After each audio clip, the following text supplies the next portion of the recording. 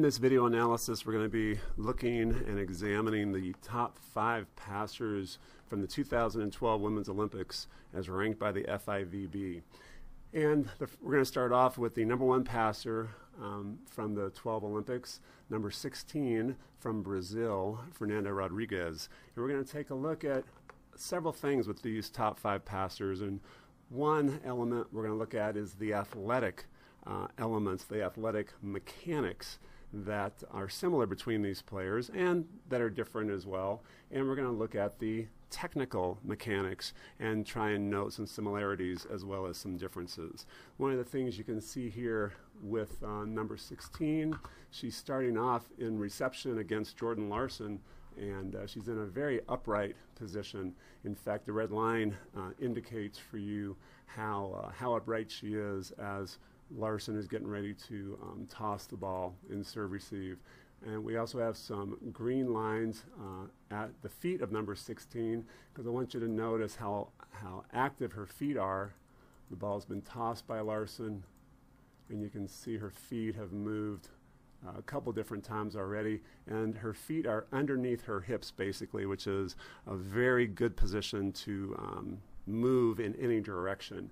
You can see here, Larson has tossed the ball. Number 16 has now loaded her hip, and she's created a very nice movement hip angle. I think these two things that she's done, creating this movement hip angle with, um, with her torso in relationship to her hip and having her feet active and below her hips, are athletic um, techniques as opposed to skill techniques. You can see number 16 continues to move her feet as Larson approaches the ball, and she stays in a fairly uh, high position, but her hips are loaded. Her feet continue to move as Larson begins her swing. Hips stay, stay loaded and right on contact. You can see that she, um, her head is up, her shoulders are up, but her hips are loaded, her feet have moved maybe six or seven times from the time Larson started her approach to this point in contact. We're running the um, clock so you can see um, some of the elements of the speed that the ball is getting from the servers to the passers, just like in Jim's serving presentation. Uh, going back to an athletic element, look at 16. You can see how tucked her arm position is right now. Elbows are at about a 90 degree angle. Hips are still loaded. She's now moving to the ball with a pretty wide base, but she didn't start in a very wide base. As she starts to present her arms to the ball, you can see she went from that um, bent elbow position to a straight position. You can see how much movement there is with her platform into the ball as indicated by the two straight green lines.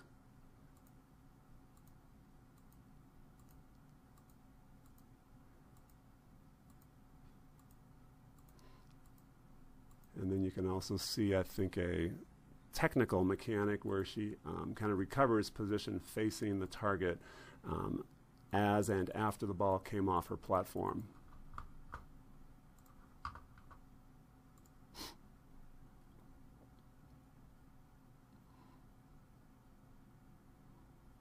Again, if you look across the net, um, 16 Rodrigues is at middle back, and you can see how upright she is again.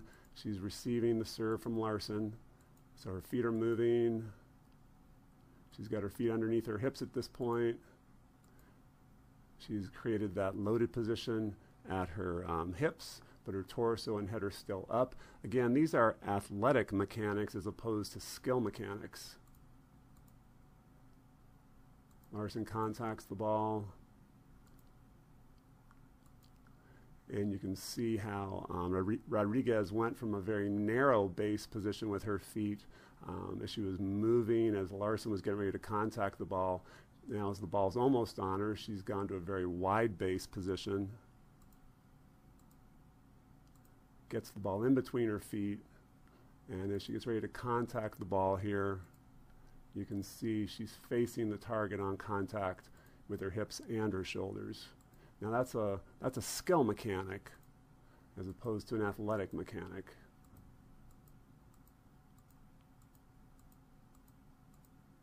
You can see that ball got to her in 0.68 of a second.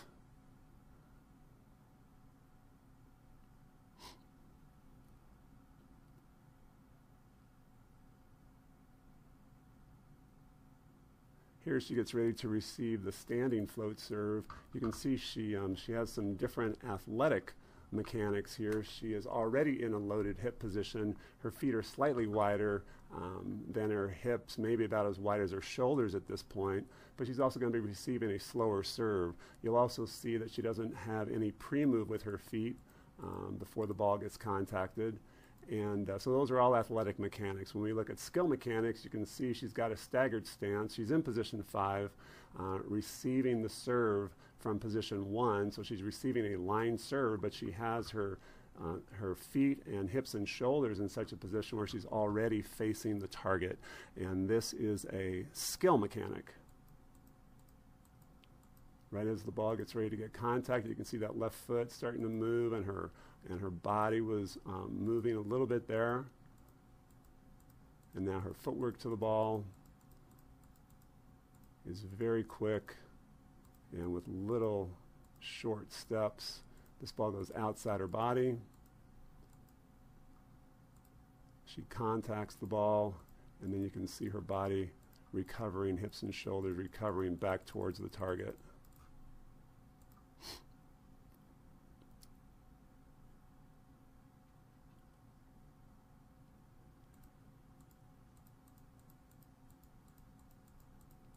That ball got to her in 1.16 seconds.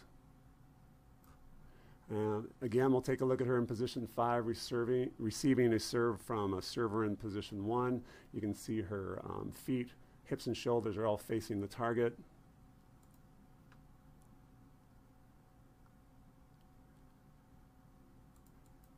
And then you can see as this serve comes to her, She's going to move with that bent elbow position. She's going to present her platform pretty close to her body here. And then move her platform into the ball towards the target. You can see her weight is kind of shifting in that direction as well. And that ball got to her in about 1.2 seconds. Again, same situation, receiving a ball um, from a line server not too much foot movement when, when she's receiving from the standing float. Moves with a wide base, presents her platform pretty close to her body, and then moves her platform into the ball and towards the target.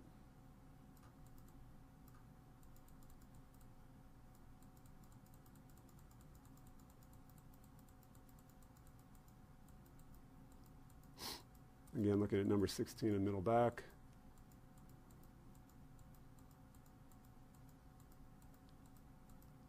Feet are wider than her hips when she's receiving this jump float. She's in a nice movement position, movement posture with her hips and torso, both feet moving at the same time, and uh, in very short, quick steps, contacts this ball, and not only moves her platform into the target, but also into the ball towards the target, but also faces the target with her hips and shoulders. And uh, the moves she's doing with her body and platform, I think, are skill mechanics versus athletic mechanics. Again, receiving the line serve, the standing float this time. So whenever she's receiving a standing float, her feet are a little bit wider, but she's in that nice movement posture with her hips back, and her torso and head up, elbows nice and flexed.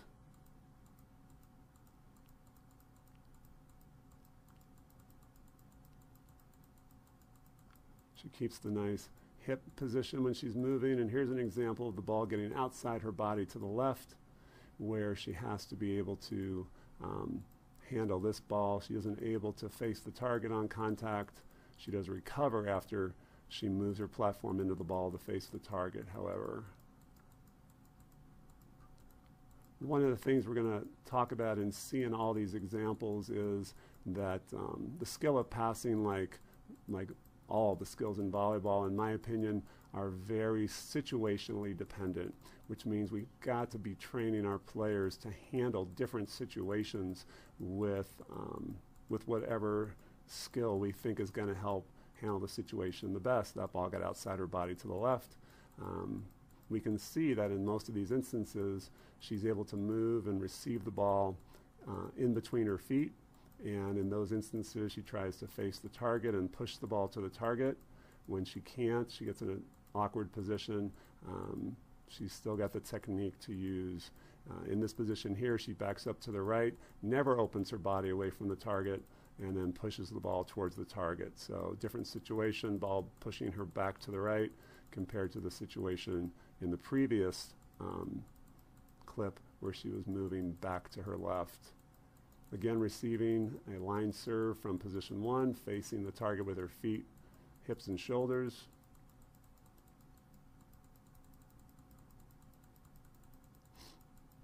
And this ball is going to move outside her body to the right. So in this position here, she does more of an angle pass where her hips and shoulders are facing away from the target, but she's still able to direct the ball very well to the setter. Um, different situation, she needed a different skill mechanic. Again, receiving a line serve from position five. You can see the athletic things that she does, moves with very short, quick, um, small steps. Uh, hips are always loaded, torso is always up. Here, as she, as she gets ready to receive this ball, her hips get down and uh, almost parallel with her knees. Platform presented close to the body, and then you can see the big move into the ball with her arms to send it up and towards the target. And uh, I think it's important that we look at athletic mechanics versus skill mechanics.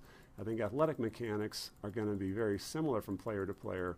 In skill mechanics, there can be some tolerance. There's going to be more tolerance for difference um, because obviously, if you train different skill mechanics, players can get proficient at them. But athletically, we should be doing very similar things.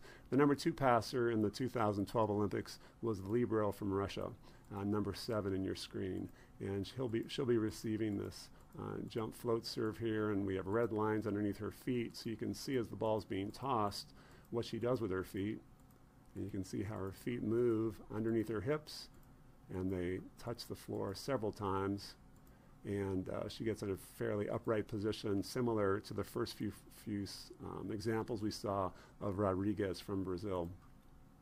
With her feet underneath her hips, it's easier to move and respond to the ball and adjust to the ball, but she's also got a very nice hip loaded position. And again, those are athletic mechanics. And now we get to the skill mechanic part of it. She um, gets pretty wide here with her feet. She presents her platform pretty close to her body when she extends down and then moves her platform into the ball as indicated by the two green lines. And on contact, she's facing where she wants the ball to go. Those are all skill mechanics.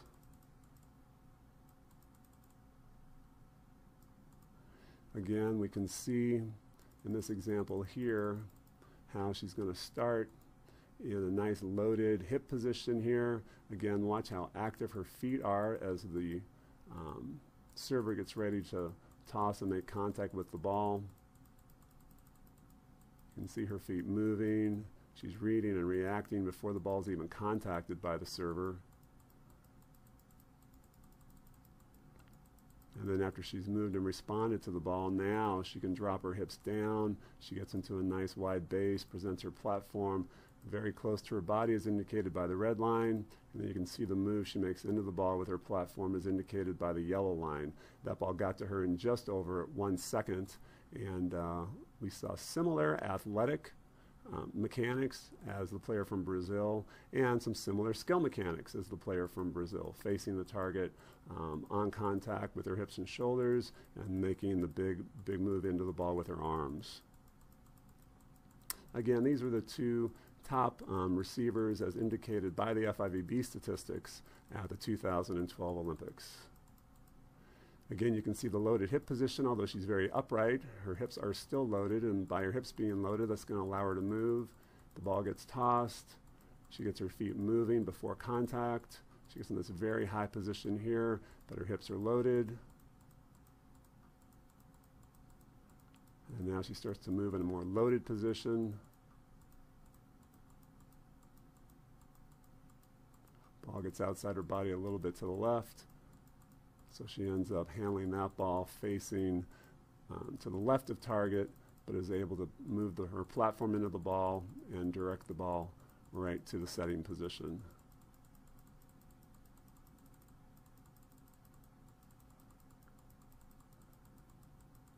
Again, I'm just going to play this and let you take a look at it now that we've uh, seen some of these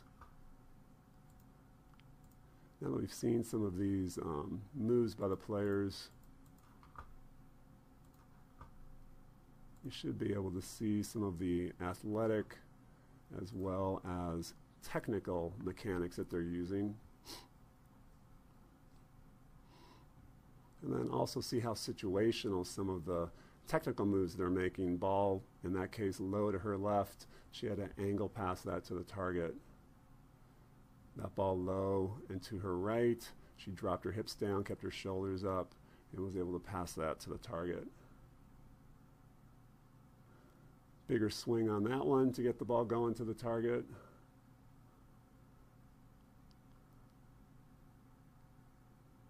That ball takes her down. She has to lunge into it a little bit. I think it's important that we look at situations um, that players get into and try and train the skill to fit the situation as opposed to trying to make one skill fit all situations. Um, Nicole Davis was ranked as the fifth passer at the 2012 Olympics. We'll take a look at what she does, and you can see some similar athletic things here. She gets in the loaded hip position. She gets her feet moving before contact, upright with her torso. Moves with very quick small steps, presents her platform close to her body initially, and moves her platform into the ball, and in that instance was facing the target. Nicole's at middle back on the other side of the net. This situation, the ball gets out to her right. You can see the big lunge step that she takes. She goes out and meets the ball with her platform facing the target, even though her hips and shoulders are facing off the court. This is a technical difference, but still effective. Again, Nicole's upright right before contact, feet moving, gets in that nice loaded position while the ball's in flight, drops her hips down low, gets the ball in between her feet, moves her platform towards the target, similar to what we saw the Brazilian player do earlier. Here's uh, Jim talked about short serves in his uh, in his session. Here's one example of a, the only short serve I could find in the matches I looked at, and you can see how easily it was passed and how uh, how uh, effective the offense ran against it. A couple other receivers we want to look at. Um, the Libero from Italy was ranked in the top five. And you can see technically she's more of a left hip passer, so she doesn't really have anything facing the target on contact other than her platform, but still very effective. So these are some skill differences, but they're still effective. Um, looking at number 16 in this one, who was also in the top four passers.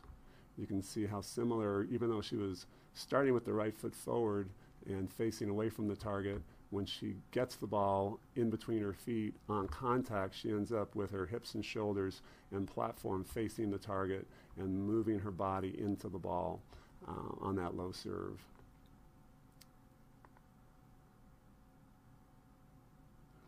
Again, she started right foot forward, but on contact, she's going to be facing the target with hips, shoulders, and platform, and platform moving into the ball. So even though there are technical differences, we see technical similarities too between all these top passers.